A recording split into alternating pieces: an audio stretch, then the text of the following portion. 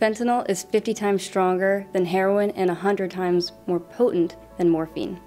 Illegally made fentanyl is being added to other drugs due to its extreme potency, which makes the drugs cheaper, more powerful, more addictive, and more dangerous. Illicit fentanyl is pressed into pills made to look like other prescription opioids.